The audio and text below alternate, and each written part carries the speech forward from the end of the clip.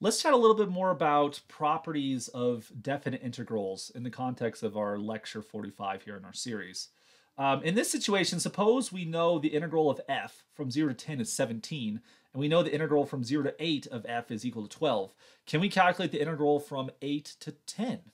Well, the thing to notice here, if we want to do the integral from 8 to 10 of f of x dx here, this is the same thing as the integral uh, of 0 to 10 f of x dx plus the integral from 0 to 8 f of x dx. Um, so we saw we saw in a previous lecture here that if we want to integrate from a to b of any function f of x dx, this is the same thing as integrating from a to c f of x dx uh, plus the integral from c to uh, the c to, uh, to to b right here. Sorry, of f of x dx. So actually, I kind of fudged a little bit what I wrote before. Um, this wouldn't be from, if we want to do 8 to 10, uh, we should be a little bit more careful with our bounds. Uh, so let's try that again. Uh, this time around, we actually would want to do 8 to 0, and then 0 to 10. So here we're using these values where 8 was the original value A, 10 was the original value B, and then we're introducing this this altern this this extra term c right here. And so we know how to integrate from 0 to 10. That's just this thing right here. But how do we integrate from 0 to 8? Uh, we have, uh, sorry, we actually have 0 to 8. We don't have 8 to 0. But we can actually flip this second one around. That is, this one right here comes down. And if we flip around the order, so we get negative 0 to 8, put the smaller one on the bottom, f of x dx plus the integral from 0 to 10 of f of x dx, like so. Um, then using the information we know before, the integral from 0 to 8 of f of x was 12, so we get negative 12. And then we add to that the integral from 0 to 10 of f of x, which is 17. And so we can see that uh, 17 take away 12 is going to equal 5, uh, which is the the integral right here. So using those properties of integration can be very helpful in calculating these integrals in a similar calculation we see right here. Uh, let me add to that list a little bit some properties of integration, something we might call the comparison test for definite integrals. And the comparison test, basically, if I were to illustrate it, will say something like the following. Let's look at property 6 right here. If f of x is greater than or equal to 0 for all x inside of an interval, so it's it's a non-negative function, then the air, then the integral from a to b of f of x dx will also be greater than or equal to 0. So the idea is that we have a function f, and it sits entirely above the x-axis, or maybe it touches the x-axis at certain places. Well, if we take our values a to b, and we look at the area under the curve, this is going to be a positive area. That's all that property 6 is saying. If you're above the x-axis, the area under the curve will be positive. Um, for the next picture, for, for number 7 right here, if f of x is greater than or equal to g of x for all x inside that interval, then the integral from a to b of f of x dx will be greater than equal to the integral from a to b of g of x uh, dx there. And so imagine you have something like the following. We have some function f right here. We have some smaller function, uh, let's say g, right? g sits below um, f of x. And then let's take our x-axis right here. So if we pick some values a and b, what can we say about the area? Well, the area that sits below the area that sits below F is going to be bigger than the area that sits below G because F is bigger than G. So we get that type of comparison going on right there.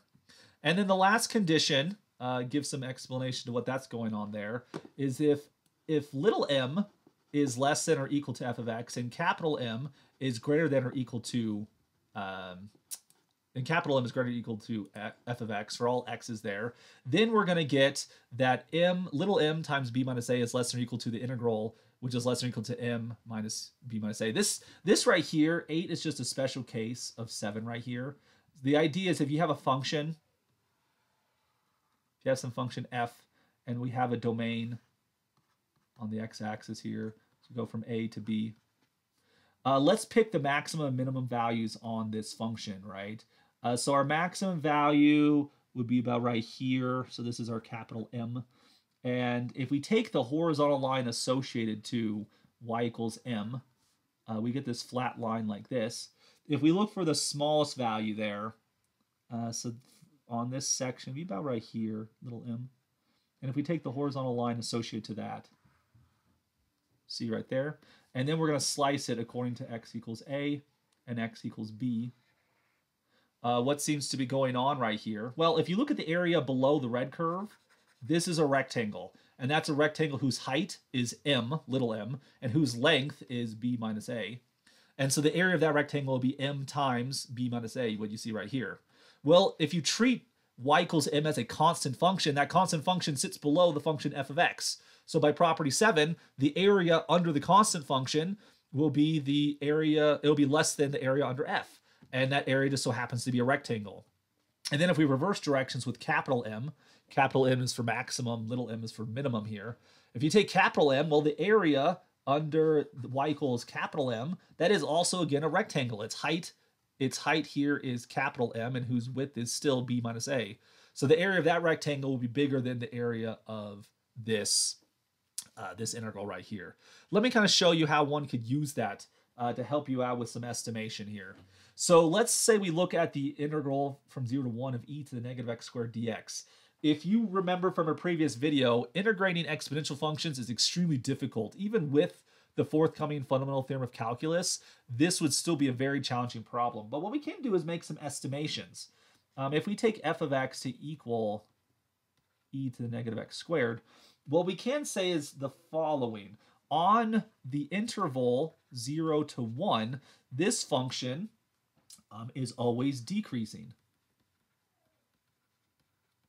Uh, just to give you an idea of the graph, if we were to graph this thing, um, this this graph would look something like the following, right? This isn't perfectly drawn to scale, but this will suffice for us. And so we're looking at an interval like something like this from 0 to 1. Just apologize for my crudeness there. Uh, but we're going to get this decreasing function. So since the function's decreasing, what this tells us is that f of x will be, uh, it'll be greater than or equal to the point on the right f of 1.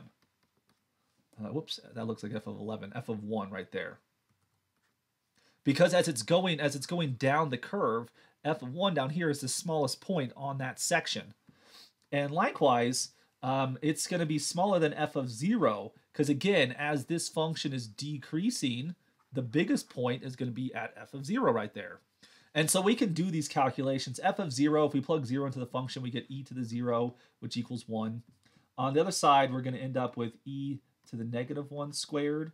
And so this ends up with just 1 over e as our bounds. So applying this, the, the property from before, the integral from 0 to 1 of e to the negative x squared dx, um, this will sit below 1 times 1 minus 0, the length of the interval, but it'll sit above 1 over e times 1 minus 0. As the length of the interval is 1 in both situations, we get our integral from 0 to 1 of e to the negative x squared dx. It sits below 1, but it sits above 1 over e, uh, for which 1 over e um, is approximately 0.367. So that is a pretty wide range of what we have right there, uh, but it still gives us some estimates on how big this integral is. So even if we don't calculate it exactly, we can estimate the area under this curve uh, using using these uh, these type of comparison like tests here.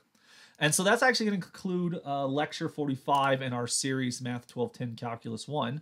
Uh, thanks for watching today. If you like these videos, please like them below. Um, leave comments if you have any questions. Subscribe if you want to see any, uh, if you want to see more videos like this in the future. And I will hopefully see you all next time. Keep on calculating, everyone. Bye.